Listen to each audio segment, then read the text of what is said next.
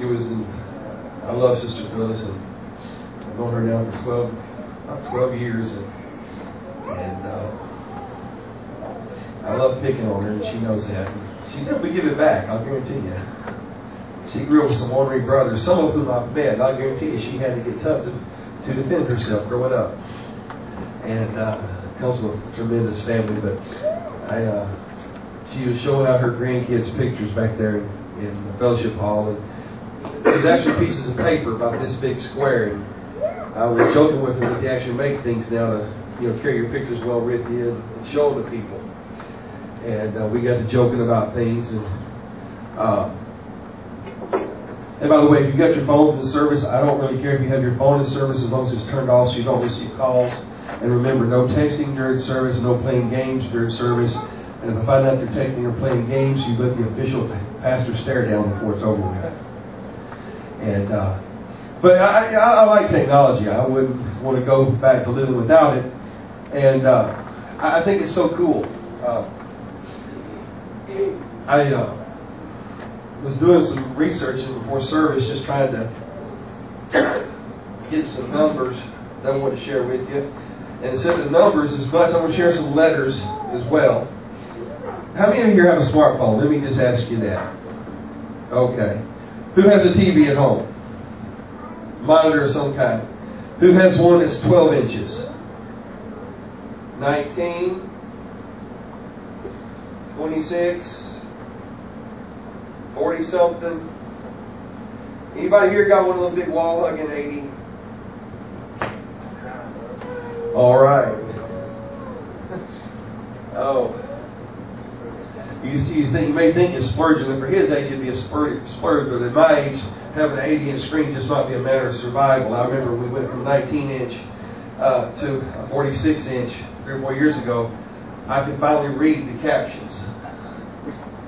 Because before my family would have to read them. What's it saying? What's it saying? And my ears couldn't keep up with the conversation sometimes. So anyway, I love the, the, what they can do on these screens. I've got a post-it note, Jim's seen me use this here a few times. Uh, but I can just take this and I can write a post-it notes. I can go to Menards with it, and as we go, actually, we'll change, just further changes. I'm I don't want to really change anything. But it's cool. I look at this. I can actually sit here and scroll through different notes. Isn't that cool? I've got all kinds of important stuff written on there, and I've got some nonsense written on there too, just so if they ever stole it, they wouldn't what was important, what was nonsense. But it's really cool. And, and to think about what has to take place for that to appear on that screen blows my mind because every little piece of color on there is a dot. It's a pixel. It's a, a piece of information. In order for you to show your grandkids pictures or your your your school project pictures or your work related project or whatever it may be, for you to show it on there, there has to be a lot of pixels lit up to the right color. And if it moves, if you take your iPhone and you drag your icon from one screen to the next, all those pixels have to move in unison. And it's so much easier to see stuff like that nowadays than it used to be. I mean, when I was a kid, it was uh, snowy black and white pictures. Yes, I can remember those. And I remember going to a bigger screen that was black and white, and then a, a nicer one, a little sharper, and actually had color. In case you've ever gone to a movie, the reason it's called a movie is because it used to be still pictures, and they made them move, and so now it's movies. The pictures move across the screen. Amazing all those little pixels just going here and there. And you know what would ever happen if your processor just fried? Your graphics controller just quit doing what it's supposed to do. You might go to drag your icon and it might split into pieces. It might not move. It might move and you may move your finger this way and it goes somewhere else. Pastor, are you trying to wow us with technology this morning? No. But I want you to understand that sometimes I think our lives are very much like those pictures on your screens. And that our lives are a complex representation of a lot of different pieces of information. But Jim, I want you to go with me, if you will, this morning and put Mark chapter 6, verse 30 up on the screen. We're going to read through verse 41. But in order for a picture to be seen, a lot of pieces of information have got to be processed. And for that picture to make any sense, something's got to control it so that when you scroll through and you move it, it all stays together and you don't lose the picture that's supposed to be there. This morning I feel like God's been, for a while really, this is really, tonight is part two of what I preached on Thursday night. I, have been feeling the need for the miraculous to take place. And I know that in order for God to work a miracle, there's a lot of different pieces of information. There's a lot of different circumstances, if you will, that need to come together. One of them we just sang about, and that was you make yourself available. but this morning, I want to just, with the help of the Lord for a little while, talk about how that we need God to, to take the pieces of information in our life, the, the pixels, how we need Him to put them all together in a way that makes sense. And in order to do that, He has to work a miracle. Mark chapter 6, verse 30. Then the apostles gathered to Jesus and told him all things, both what they had done and what they had taught. Just roll on through it. He said to them, Come aside by yourselves to a deserted place and rest a while. Now, before I go any further, Thursday night I began talking and I preached on the fact that it's never too late for God to do a miracle. Uh, I could have titled it other things, but we looked at a text where a woman had had a physical problem 18 years. And after 18 years of wrestling with that unfortunate situation in her life, she came in contact with God, made herself available. God spoke to her, touched her, and fixed her problem even after 18 long years. And this morning I'm picking up with that same theme right here where the disciples had been ministering and Jesus sends them to a deserted place. Uh, in, in, the translation I was reading, he said a desolate place. It was a, a lonely place, or it should have been anyway, a place where they could get away from it all and just rest and, and kick their heels up and, and relax for a while. And it says there were many coming and going, and they didn't even have time to eat. They were so busy doing the work that they had been called and commissioned to do that they just didn't have the time to take care of the necessities. Now, I understand that when we look at the disciples this morning, we're actually talking about preachers. And I know I'm not speaking to a congregation full of preachers this morning. But I dare say that in this room here this morning, there's been many times that we as adults have felt like there was so much that was going on in our lives, so much that was coming and going and moving this way and the other, that we really just didn't even have the time to take care of business. Can somebody say amen? Well, the Lord sent them to a place where they could get rest. Next verse. So they departed to a deserted place in the boat by themselves. Hello, vacation. I know I, I, just a few weeks ago I was sharing how my wife and I were looking at trailers and fifth wheels because you know it's our 25th anniversary this year. We're hoping to, to take a few trips this year and see some things we've never seen before. Some folks do cruises. We decided to cruise the highway, and uh, anyway, we're still dreaming. But they departed, but the multitude saw them departing, and many knew Jesus, him. And he ran there on foot from all the cities, and they arrived before them and came together to him. Next verse. And Jesus, when he came out and saw a great multitude, was moved with compassion for them because they were like sheep not having a shepherd. So he began to teach them many things. We're going to go ahead and read through it now, then I'll come back. When the day was now far spent, his disciples came to him and said, This is a deserted place, and already the hour is late. Send them away that they may go into the surrounding country and villages and buy themselves bread, for they have nothing to eat. But he answered and said to them, You give them something to eat. They said to him, Shall we go and buy 200 denarii worth of bread and give them something to eat? A little sarcasm in their voice, I think. And he said to them, How many loaves do you have? Go and see. And when they found out, five and two fish. Then he commanded them to make all sit down in groups on the green grass. And so they sat down in ranks in hundreds and in fifties. Next verse, and we'll call it quits. Hello? Next verse. Yeah. There we go. And when he had taken the five loaves and the two fish, he looked up to heaven, blessed and broke the loaves, and gave them to his disciples, and set before them. And the two fish he divided among them all. I said next last one, let's go a little bit further. Verse 42, let's go ahead.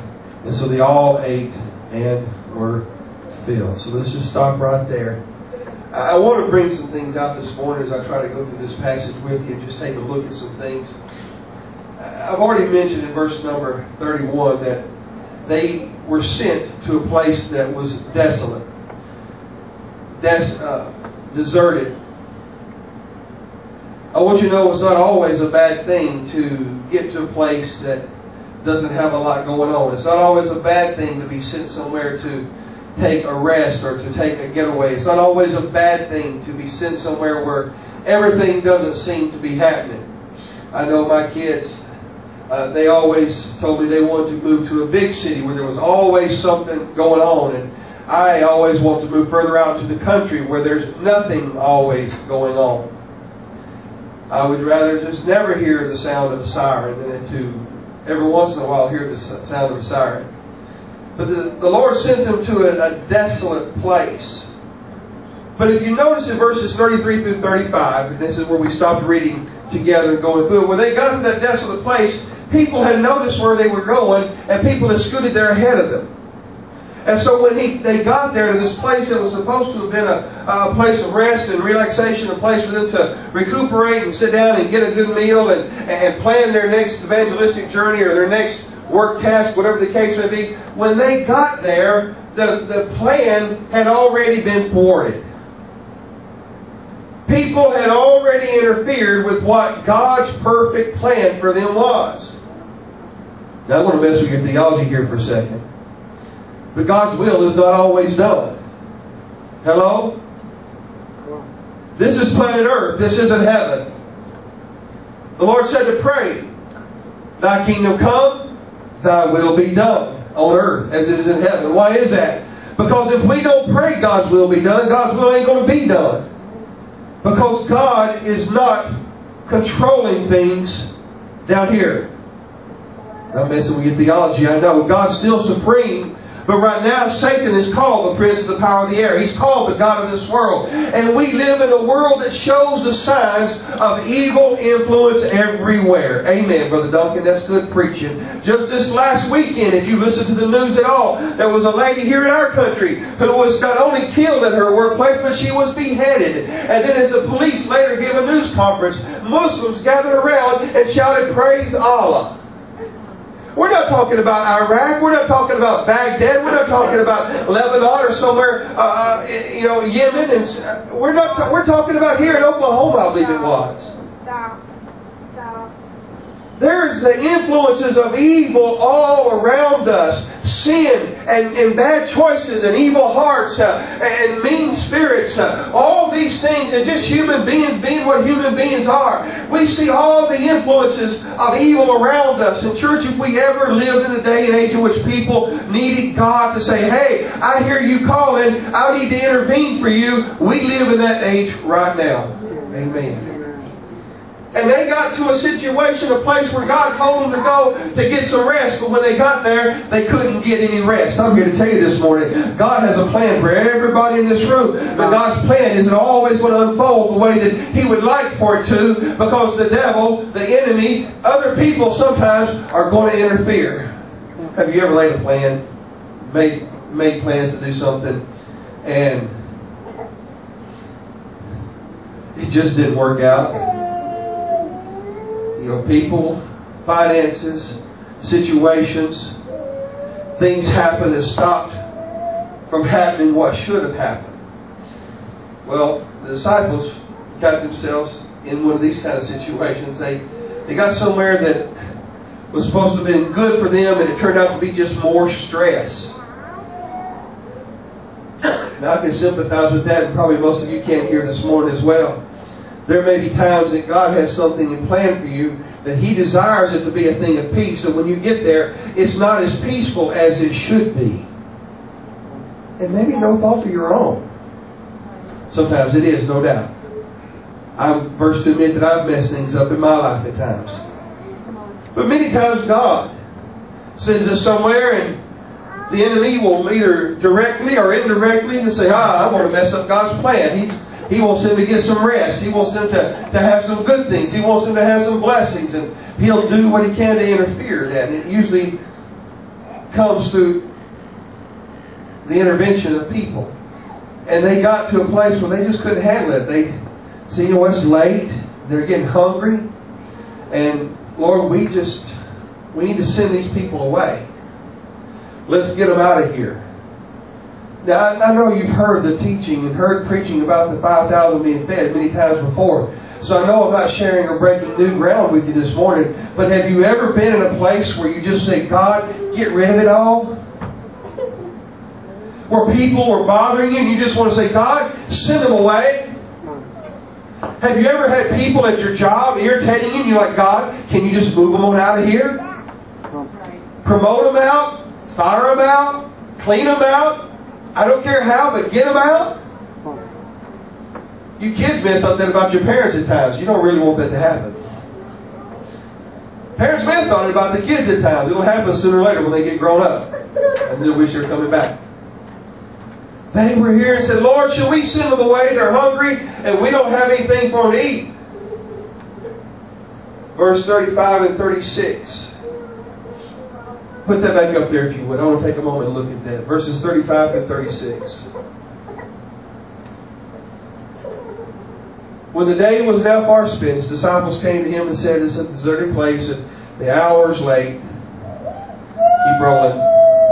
Send them away that they can go into the surrounding country and buildings and buy themselves bread, for, for they don't have anything to eat. Keep it rolling. But he answered and said to them, You give them something to eat. And they said to him, Well, what are we going to do? Go buy 200 bucks worth of bread and, and give them something? Paraphrase there. Next verse. He said to them, How many loaves do you have? Let's stop right there. Church, this morning I've got a few simple things I want to drive home to you. If you need a miracle in your life this morning, I know as a pastor, many times you know situations, but there are many times are situations that I'm not aware of. I'm speaking to those I do know and those I don't know this morning. But I believe I'm talking to people this morning that may feel like they're in a place where they desperately need God to intervene somehow you have reached the end of your rope, your resources, and you don't really know which way to turn. And you wonder just what you should do. And maybe you've tried talking to God, maybe you've thought to God, maybe you've had feelings to God, and in your mind and your heart it's been kind of a, Lord, what do you want me to do about it? Lord, there's nowhere I can turn. Well, I want to first of all point out that what they did was the right thing. First of all, when they realized they had a problem, they at least went to God. The church, you hear me what I'm going to say right now because if you don't leave with anything else I say this morning, if you tune me out till now, that's okay. Tune in for the next 30 seconds and then if you feel like you must tune me out again. But hear what I'm going to say in the next 30 seconds. God will respond to you if you will call on Him. He doesn't respond just to thinking about it. He doesn't respond to well wishes about Him. He doesn't respond to just warm, fuzzy thoughts about God. But if you will sit down on your knees somewhere and actually use your God given voice and your God given mind, and you will call on the name of Jesus Christ, God will hear your prayer. He doesn't respond to doing the hokey pokey where wearing leathers and feathers. He doesn't respond to well-meaning chants and burning incenses and, and lighting candles everywhere. He doesn't respond to special music and doing recitations. Uh, he doesn't respond to changing beats and position on a, uh, on a string. Uh, he doesn't respond to all that kind of stuff. You can't deed your house over to God and get His attention. Neither can you crawl on a bed of nails. Uh, I read recently, I'm not knocking it, but uh, you know, God could care less if I could lay on a bed of nails uh, and have someone jump rope on my chest and get the book of records it doesn't get God's.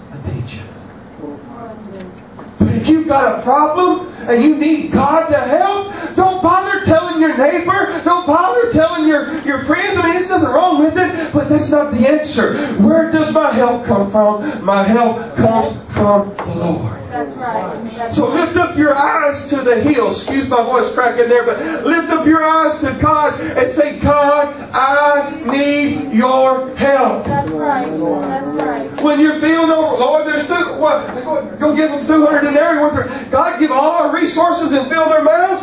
You know why that's not the answer? Because it won't be enough. There's times that you need what only God can do. And so what God did say, what did God say to them? What do you have? Go and see. When they found out, you know what this little this little exchange here tells me? What it tells me they didn't know what they had. Because they had to go find out. Well, boys, you got a problem here. What are your resources? Well, uh, uh yeah, uh, uh, well, go and find out. Now, I don't know that Jesus was frustrated. If it had been us, we'd have been frustrated. Go and see. And when they found out, they said, five and two fish. Now, a couple more things come out to me from this little exchange here. They're dialoguing with God, and God's already kind of, I think, in a way, chastised them. Go see how many loaves you have, and so they go off and they start looking, they start checking, and, and they find out how many they have, and they come back and they say five and two fish, and, and in their mind they didn't come back. It doesn't say they came back shouting or rejoicing, five and two fish, but I can see that they probably came back. Oh, we got five loaves, and. Uh, two fish. I don't think that they were convinced that they had enough. I don't think that they were in any way convinced that they had enough. But they came back with that answer. And at this point, they're still convinced that the problem is insurmountable.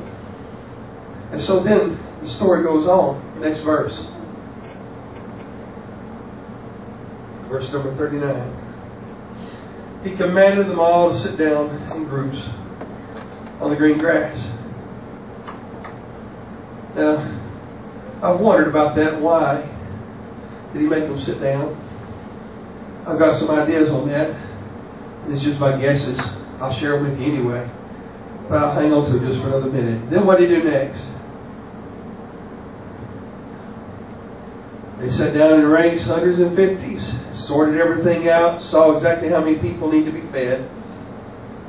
And then the next verse, he took what they had, looked up to heaven, and he prayed. And then he told them to start passing it out. Now I made a few little notes here. And we'll share with you. It won't take long.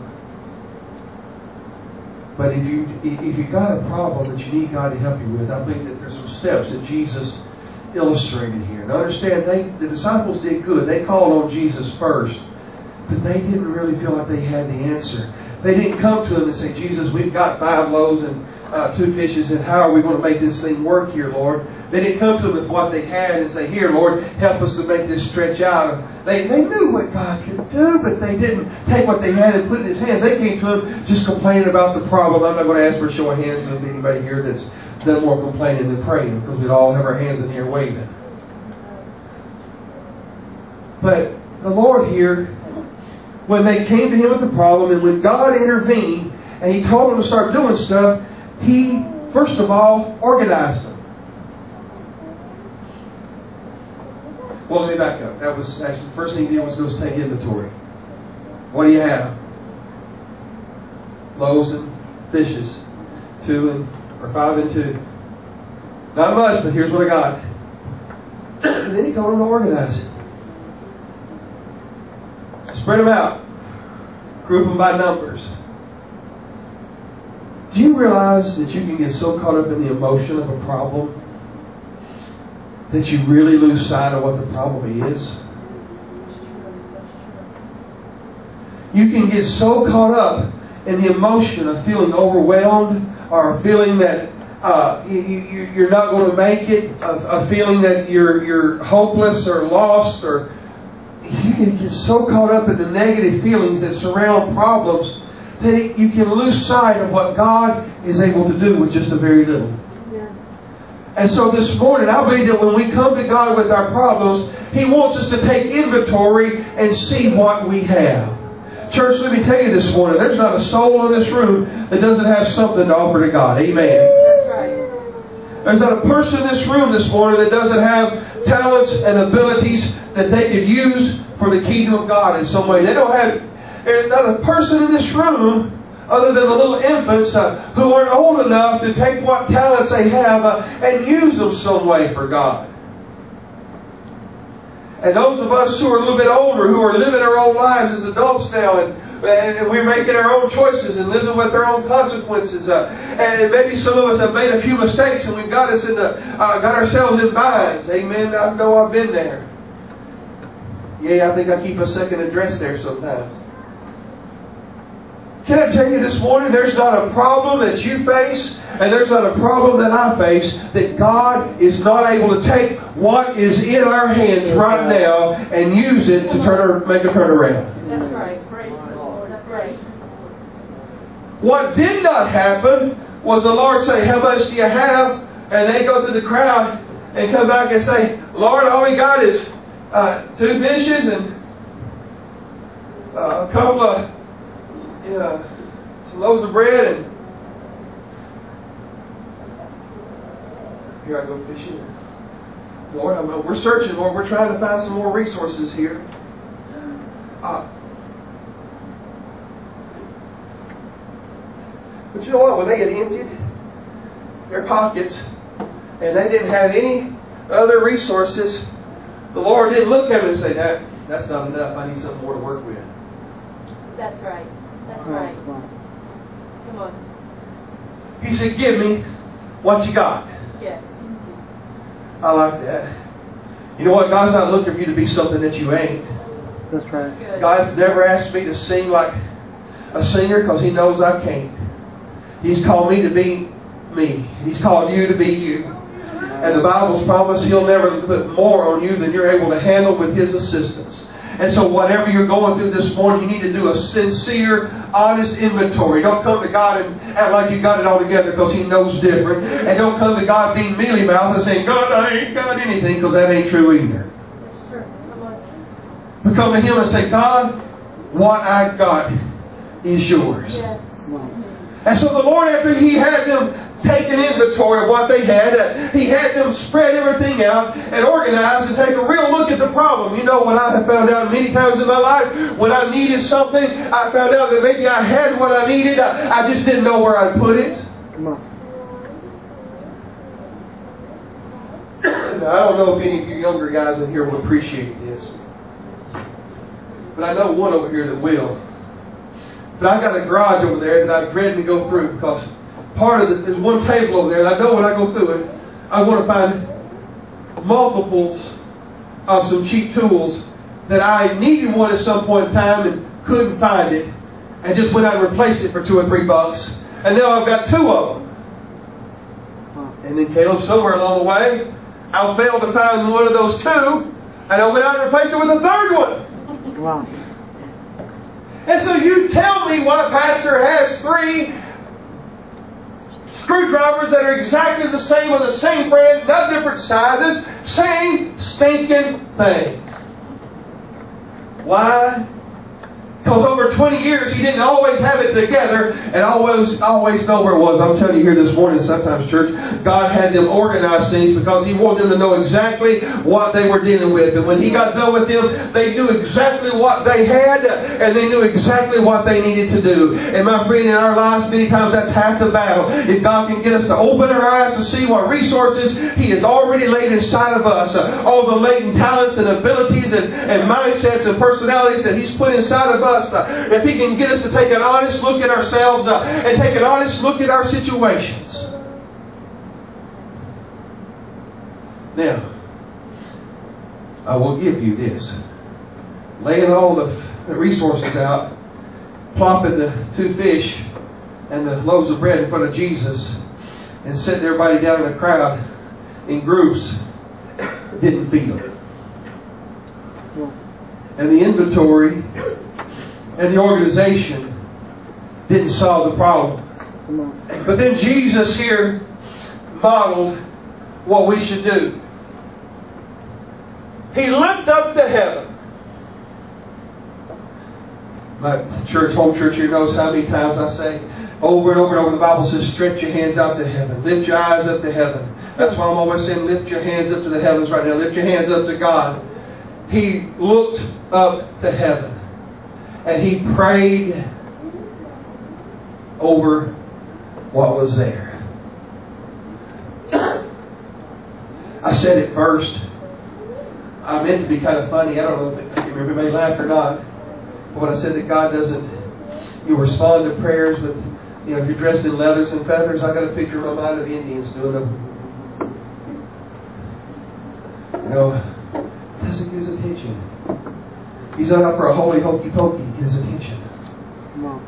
But what he's looking for is for somebody that'll be sincere with him and say, God, I need your help. Yes, that's right. Now,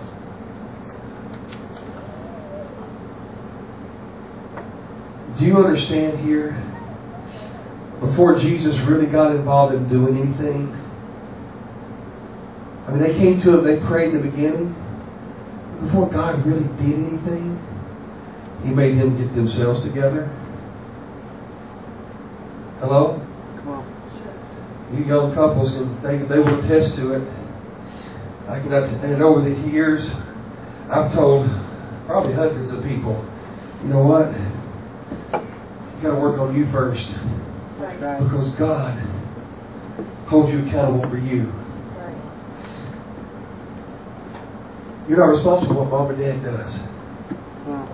But you know what? You're going to stand before God for what you do. True, yes. And I'm not saying he's did anything bad. That's not why I picked him out.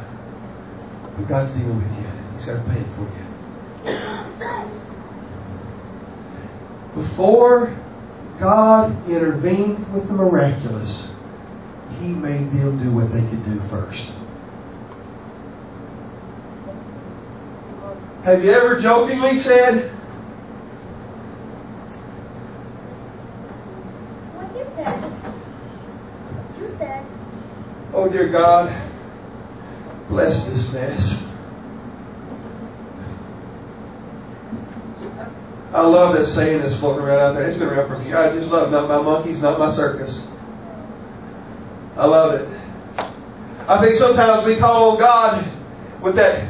Maybe you don't say it out loud, but in your mind you're just like, ah, it's a problem. Fix it, God. Bless this mess. And I think somewhere up in heaven, God leans back and says, Not my monkeys, not my circus. You say you don't care? No. But I'm saying He's not going to do what you are supposed to do. Because they should have already tried to figure out how many people they had to feed. They didn't know until they spread them out and counted them. They should have already figured out how much food they actually had to give. They didn't know. But they come to with the problem, God, what are we going to do? We got to feed all these people. How much do you have and how many are there? Uh. Well, go find out and sit everybody down and put them in groups of 50, put them in groups of 100, and let's figure it out. And then when they come back and then you, God, this, Lord, we know what you said. This is all we've got. We still, there, there- there's just a whole bunch of them, and we're tired, by the way. We came here to rest, and we didn't ask for all these problems, and you sent us here, God. Remember that you sent us here, and here's this mess, and here's this problem, and, and what are we going to do? And then Jesus said, okay, be praise. And I'll tell you what did not happen fish did not start appearing along the ground there beside those two that they had. I don't know if they had them on a stringer, if they were in a basket or what, but fish did not just start piling up. Loaves of bread did not just start appearing out of nowhere. But what God told them to do really probably didn't make a whole lot of sense to them. Because after he told them to go get what they had and let's get everybody counted here, he said, okay, now take what you got and start passing it out. With that crowd and those resources, it didn't make a lick of sense. The faith comes by hearing, and hearing by the word of the Lord. And faith without obedience is dead. And so the Lord basically was telling him, okay, now if you want to see something done, you're going to have to act in faith. I'm going to test your obedience, get those fish uh, and get those bread, loaves of bread, and start passing them out. And, and I don't doubt that in, in a crowd of people, there's always going to be some. You know, some, there's probably some disciples that, okay, great, God's going to do something. There's always someone that's got that positive attitude. I'm not that person. But there probably was. But there was also probably some that, yeah, right, look what's at the doesn't, I think he's lost it. He's stressed out. It's just not enough. And they were probably grumbling underneath their bread, their breath as they're walking over to the first person. And they, they're, they're probably breaking off pieces of bread and handing out pieces of fish, still